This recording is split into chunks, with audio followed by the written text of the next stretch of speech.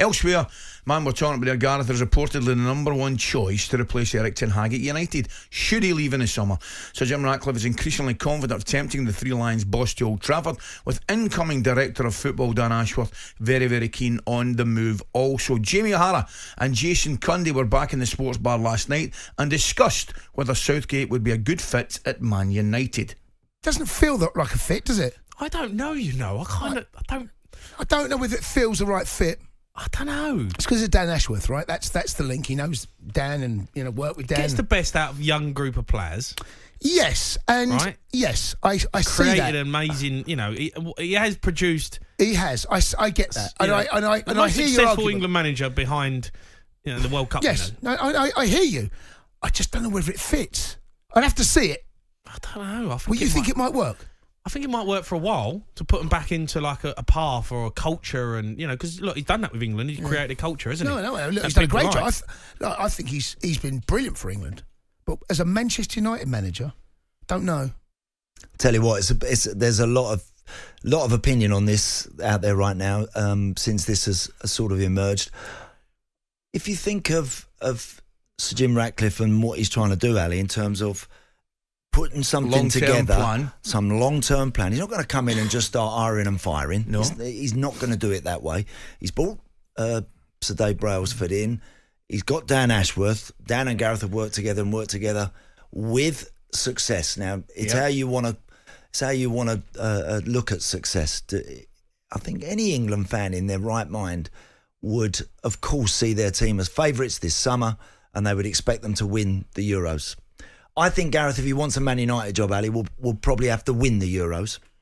By the Right. way, well, I need to bring you back here a bit. You think they expect to win the Euros? England, yeah, I, I think they've got to expect to win it. Expect?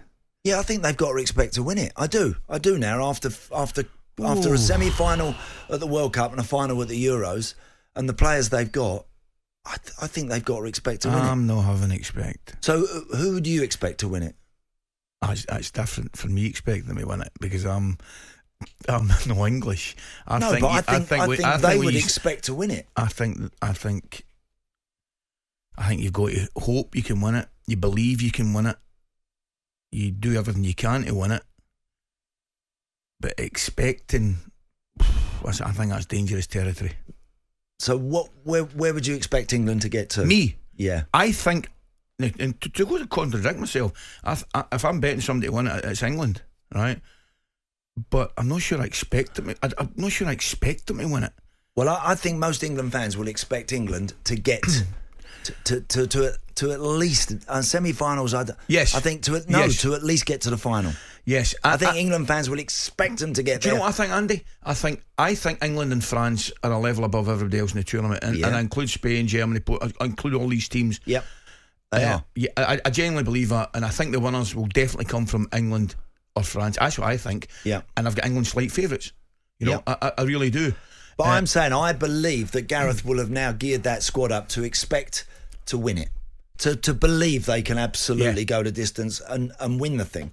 Now, I'm not sure if uh, I'm not sure Gareth can, and he's only focused. I'm sure right now is on England, and not on Man United. Even Of though all this talk that's going around, um, but I'm not sure that that that Man United job will happen unless they unless they win it. Now, of course, they've if they want to chat. And by the way, we're talking about a, a, a job here that's not even available. Yeah, that's Ten Hag. Correct. is, is in the is in the seat. Absolutely. He's in the seat. And look, and if he wins an FA Cup this year, You never know. you don't know, right? They might decide look they, they want to keep going or whatever. If they are going to make a change, there aren't that many runners and riders. I don't think That's out. I don't think. I agree with you. Uh, who's, I mean, how many are out there? There's a lot of people coming. I was listening to Andy Goldstein. Andy was having a right dip at Gareth. Oh, it's the last. We don't want him. We don't want him, and all that stuff. Well, if you're putting a team together, if you're Sir Jim Ratcliffe putting something together, you putting pe- you put In people together that have worked together.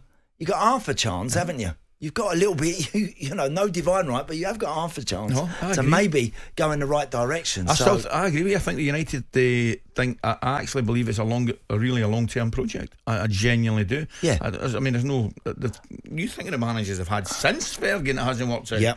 So he's, I think Sir Jim is going to come in and always look, going to look long term. Yeah. I'm going to go to a break, Andy. Go on, mate. A lovely one. Morning, Ally and Andy. Working away this week and staying at the beautiful Wokefield Golfing Estate just outside Lovely. Reading, enjoying a nice cuppa on the terrace, listening to you two. Life is good. That's from Lee in the West Midlands. Good on you, Lee. Lovely, you enjoy your cuppa, pal. Right, don't forget, you can hear live commentary of England versus Brazil on Saturday, and it's right here on Talksport. Talk Sport Breakfast, waking you up Monday to Friday morning from 6 a.m. on AM, on DAB, via the Talksport app, and on your smart speaker. Talk Sport.